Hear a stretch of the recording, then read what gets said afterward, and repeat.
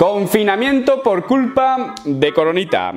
Chicos, bienvenidos a una nueva clase del Tito Pico. Vale, mis piquetes, debido a este giro argumental en nuestras vidas, que esto parece que está escrito, que es el guion de una serie y nos toca ahora luchar contra Coronita, estamos todos con un confinamiento que no sabemos cuándo va a terminar. Y bueno, todos conocemos cómo es la comunidad fitness, es un poco histérica y la gente está pues con muchísimo miedo del famoso mm, catabolismo muscular, eh, pérdida muscular, degradación muscular o como lo queráis llamar. Así que bueno, os traigo un poco de ciencia. La ciencia. Vamos a presuponer que el confinamiento va a durar cuatro semanas, ¿vale? Semana número uno. La mayoría de personas no hacen descargas. La mayoría de personas entrenan más de lo que deben.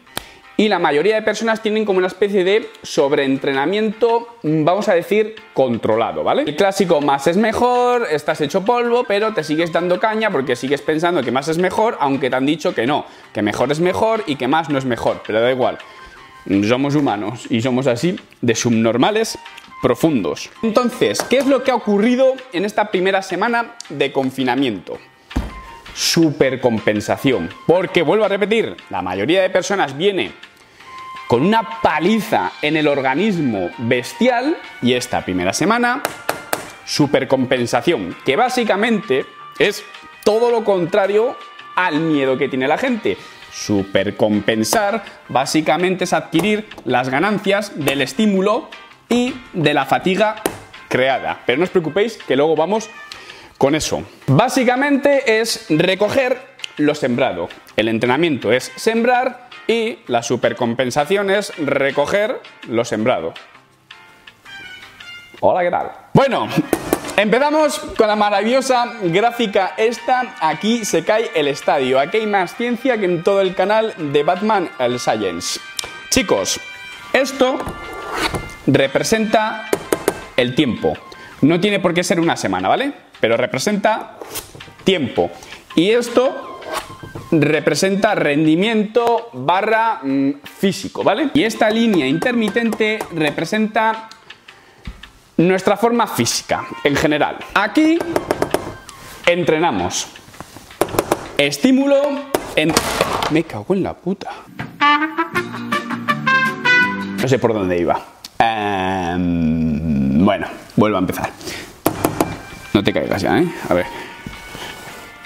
yo, yo no escarmiento, yo le sigo dando. Estímulo, entrenamiento, curva, que representa la fatiga. Recuerden, este era nuestra forma física. Después de un entrenamiento que es una agresión al organismo, ¿vale?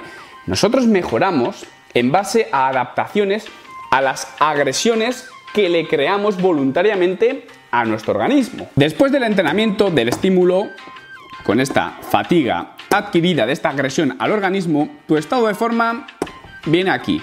Esta es la curva y esta es aquí. A partir de aquí empieza el proceso de compensación para volver a tu anterior estado. Y luego empezaría el proceso de supercompensación que esto básicamente son las mejoras. Se suele decir que en función del estímulo y fatiga que consigas crear, la supercompensación va a ser mayor o menor. Una vez que has llegado aquí, has supercompensado todo este estímulo fatiga, aquí este sería tu nuevo tu nueva forma física, ¿vale? Ahí. Este es el momento propicio para darle al cuerpo otro estímulo. Si le dieras al cuerpo otro estímulo, en vez de partir de aquí hacia abajo y supercompensar, partirías de aquí y harías esto. Y acabarías aquí. Y así, y así, y así. Sucesivamente, que básicamente es como se mejora. Hola chicos, ¿qué tal estáis? Soy el pico del futuro que está editando el subnormal profundo este que ha puesto desentrenamiento en vez de desentrenamiento. No se lo tengáis en cuenta, ¿vale? Bastante tiene con ser calvo. Es lo que ocurre que si llegado ese momento tú no le vuelves a dar un estímulo a tu cuerpo, una nueva agresión. Empiezas a caer de nuevo, desentrenamiento y vuelves al punto de partida. Pero como podéis ver, esto baja rápido, esto sube relativamente rápido y esto decae más despacio para volver aquí. Una vez explicado esto, y espero que os hayáis enterado, pedazo de cabrones, y estéis prestando atención, una vez explicado esto, la primera semana tú vas a sufrir una supercompensación bestial porque nunca le has dejado a tu cuerpo recuperarse como esta vez le vas a tener que dejar, ¿vale? Entonces, el miércoles o jueves de la primera semana de confinamiento, seguramente tengas el mejor mm, punto físico o estado de forma que hayas tenido nunca. ¿Por qué? Por esta supercompensación bestial que has tenido quizás por primera vez en tu vida. Vale, una vez llegado a ese punto, vamos a entrar en la segunda semana. Suponiendo que no hagas absolutamente nada, ¿eh? que no entrenes en casa, ¿eh? sin hacer nada, que sé que todos estáis entrenando, que estáis completamente histéricos, pero en el peor de los casos imaginad que, bueno, pues que te lo tomas sabático, ¿vale? Segunda semana, comenzarías, después de esta supercompensación, un desentrenamiento, ¿vale? Que vuelvo a repetir, va despacito, ¿eh? Por lo cual, una segunda semana sin hacer absolutamente nada, en realidad perder como tal no estarías perdiendo. En todo caso, estarías dejando de ganar lo que has ganado con la supercompensación, ¿vale? Más o menos. Tercera semana, normalidad. Digamos que volverías ¿Cómo vamos a definir este punto? Eh, tu estado físico base. Todas esas ganancias o adaptaciones asentadas durante años que obviamente no se van a ir. Porque esto de la supercompensación refleja eh, los últimos entrenamientos, últimas semanas, últimos meses, ¿vale? Y una cuarta semana. Y vuelvo a repetir, todo esto sin entrenamiento alguno, ¿eh? Una cuarta semana sin hacer absolutamente nada, digamos que aquí ya podríamos hablar, y entre comillas lo he puesto, de pérdida. De pérdida de esto. Si aquí baja despacio, ¿vale? A partir de aquí hacia abajo, que esto son adaptaciones que has ido generando durante años, si aquí va despacio, aquí, de aquí para abajo, iría todavía mucho más despacio. Pero nos hemos presentado en cuatro semanas, chavales, cuatro semanas. Por eso vuelvo a repetir, que no cunda el pánico, que no seáis tan histéricos. Vale, he señalado aquí algo eh, sumamente importante a mi parecer. Balance energético. Siempre estamos hablando de que, en definición, hay que darle un estímulo al cuerpo, porque si no, tu cuerpo cree que, puede prescindir de la, de la masa muscular, ¿no? Y la expulsa, exiliada. Lo más importante en este caso, eh, partiendo la base de que tú no le vas a dar ningún estímulo en casa, es el balance energético. Si tú tienes un déficit calórico bestial, acentuado, eso sí que compromete muchísimo la musculatura y no tanto el no darle nuevos entrenamientos para generar adaptaciones. Un déficit acentuado, balance energético negativo, agresivo, ¿vale? Eso sí compromete la musculatura muchísimo. En resumidas cuentas, si tú tienes una casa y no tienes dinero para mantenerla, ¿qué le pasa a tu casa? La pierdes, ¿vale? te, embarga el banco.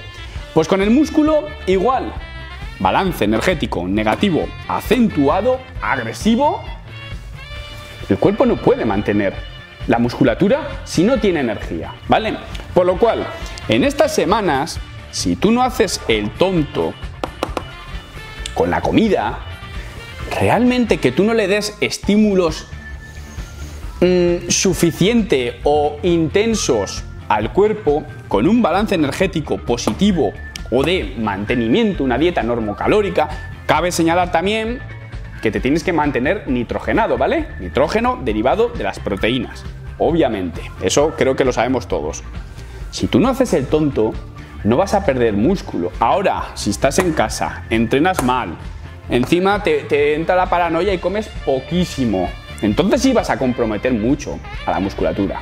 Entonces, estímulos irrisorios durante 3-4 semanas, con un balance energético considerable, positivo, normal, bien nitrogenado, tu músculo se va a mantener, ¿vale? Bien. Y como mucho vas a perder la supercompensación de las últimas semanas, pero pérdidas reales, no. Bien, eh, puntos positivos del confinamiento. Horas de sueño, vamos a ver. Si no comprometéis a vuestra musculatura con un déficit energético y encima estáis durmiendo 10 horas por la noche, luego encima como ceporros os echáis una siesta. ¿Qué músculo, qué músculo vais a perder en cuatro putas semanas? Lleváis 7 años entrenando. ¿Qué puto músculo vas a perder sin déficit energético y durmiendo como un lirón? ¿Cómo crecen los bebés? Durmiendo y comiendo. Vale. No estás inmóvil.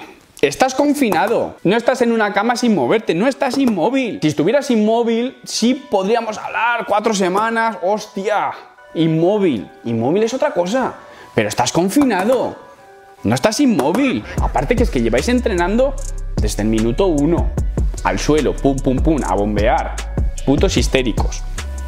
No estás inmóvil, ¿vale? Estás confinado, que es distinto. Vale, otro punto positivo, recuperación hormonal, ¿vale? Tu entorno hormonal, al no recibir tantas agresiones que le metéis con los entrenamientos, porque estáis siempre medio sobreentrenados, vas a tener una recuperación hormonal, ¿vale? Tu cuerpo está siempre en una guerra civil porque le estás dando una tralla que no, que, no para eso. Recuperación hormonal, ¿vale? Bien. Recuperación del sistema nervioso central, ¿vale? Por lo mismo, entrenar más intenso de lo que debes, sistema nervioso central petado. Muscular, que bueno, ya lo hemos hablado antes. Y articular, chicos. A mí, en lo personal, yo hago alterofilia, yo llevaba la rodilla que, que la llevaba como la llevaba, que no quería parar, pero no me dejaba entrenar bien, eh, estaba ya más pendiente de ella que que de, los ejercicios, pero no nos gusta parar. Y yo sé que tengo que parar, pero no. Estaba ya meditando ir al fisio, como mucho saltarme alguna sesión, pero no parar. Ahora, la tengo ya como nueva. Recuperación articular. Y todo esto nos lleva a semanas prósperas, chicos. Una vez volváis, vale, es que me río ya porque, porque parece que he retrasado. Una vez volváis al entrenamiento, una vez vuelvan a abrir los gimnasios, volvamos a la normalidad, Coronita nos deje en paz, vais a tener unas semanas prósperas porque vais a venir recuperación hormonal, sistema nervioso, muscular, articular, y os van a llegar unos entrenamientos cojonudos. Vais a tener sensaciones musculares muy buenas. Vuestro cuerpo va a estar muy receptivo. Y en general, eh, ¿cómo decirlo? La agudeza propioceptiva, esto de que sientes bien las contracciones musculares, ¿vale? Porque tienes el cuerpo receptivo, le tienes descansado, le tienes como si hubiera regenerado, ¿vale? Sensaciones muy buenas y semanas muy prósperas. Y ya está. ¿Veis cómo no hay tanto drama? Vale. Y os he puesto en el hipotético caso de que no hagáis nada, que sé que vais a hacer algo, porque hasta yo estoy haciendo algo, me cago en la puta. Vale, si tú encima le das pequeños estímulos, aunque no sean como los de antes, vas a hacer bajaditas y mini procesos de supercompensación. Vas a estar dándole un estímulo al cuerpo, vas a estar activo, por lo cual esto ha sido en el peor de los casos si no haces nada, pero es que encima sí vamos a hacer, por lo cual aún menos miedo. Ya por último, y acabamos. Bien, adaptaciones asentadas a largo plazo no se pierden, ¿vale? No se pierden tan fácilmente. Porque la gente se confunde con varias cosas. No es lo mismo la composición corporal real, que podríamos estar hablando de tejido magro y tejido graso, a Glucógeno muscular, que esto a la gente le puede mm, llevar eh, a engaño, o propiamente los líquidos que retenemos, ¿vale? Composición corporal real son procesos lentos. Para ganar y para perder, ¿vale? Quizás la grasa sí, la grasa va más rápido, tanto ganar como perder. Pero el tejido magro es un proceso muy lento. Eso que quede muy claro. Que tú te veas mejor o peor no significa pérdida de composición corporal. Puede estar líquidos de por medio, puedes estar eh, con el glucógeno muscular depletado y te puedes ver más vacío, más pequeño, ¿vale? Pero chicos, eso es algo pasajero, ¿vale? No es algo asentado ya que se va a quedar como algo permanente. ¿Por qué os digo esto? Porque es algo que tenéis que tener en cuenta y que si sois personas que os estáis mirando siempre en el espejo, tened en cuenta que si te miras a las 8 de la mañana y después te comparas a las 8 de la tarde, seguramente tengas distinta eh, retención de líquidos, ¿vale? Entonces es posible que te veas mejor a la mañana porque estás en ayunas y has venido de, de estar sudando por la noche, a lo mejor te ves más definido y a las 8 de la tarde tienes ya tres comidas en el cuerpo, has retenido líquidos y te ves peor o al revés, o a la mañana te ves plano y a la tarde te ves más denso porque has cargado glucógeno, ¿vale? Chicos, en eso no os tenéis que preocupar. Entonces os digo esto porque a lo mejor también pasa una cosa, que tú ahora estás en casa y dices, voy a comer pocos hidratos de carbono. Cuando vuelves a entrenar, empiezas a comer hidratos de carbono de nuevo. Entonces, ¿qué es lo que pasa? Entrenas, bombeas, encima cargas el músculo de glucógeno y claro que te vas a ver mejor y vas a pensar que es porque has vuelto a entrenar y en realidad es porque has estado confinado con hidratos bajos y los músculos pues depletados, ¿vale? Entonces, pues eso, que no os volváis locos ni con los líquidos ni con el glucógeno muscular, que las adaptaciones reales son lentas de crear y son lentas de perder, chicos. ¡Chao!